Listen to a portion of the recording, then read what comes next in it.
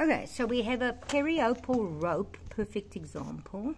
I want to use my clean hand to show this periople rope. So the periople is not supposed, it's this white bit. It's this white piece. It's not meant to go so far down. It's meant to just be below the hairline, like that. And then there's the rope. It starts there. That piece of white. Come focus. That piece of white. And then it continues past.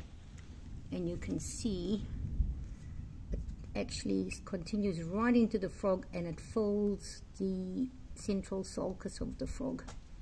So one has to clean that up out. And you can was the farrier here recently?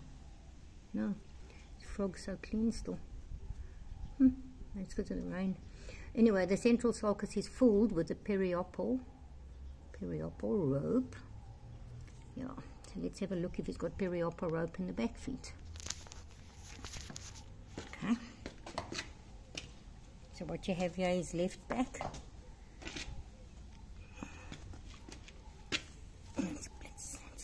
Rudy. Let's put this on forward. Right, hind foot. Um, see, it's the, the hairline is right up here. Hairline is right here. Periople should be just stopping to here. And then we've got a rope all the way down. And then the rope goes this way.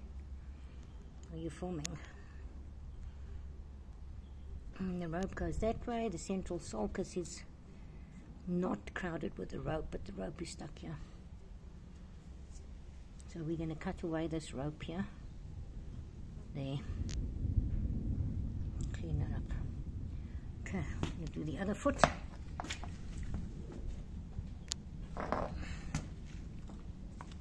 Okay, let's just clean this one. Okay. This is right rear. Um, hairline, um. Doesn't seem to be, focus, doesn't seem to be too long on this side, but look at the rope. It is crazy thick. It's crazy thick there. It continues right down. Look here, it goes right to this part of the central sulcus. It's full. Full, full, full. Okay, so that all has to come off, this whole rope from there. Hmm. Okay, we're going to do the right front on this video. Okay, so right front, periople rope as well. This one's hanging loose. You can see the hairline is there and the periople should not go down here, which it's gone right down. So that's got to be cleaned up. It should just be across here. Boom, with no rope forming. So you can see the rope. And go from an angle here. See it sticking past.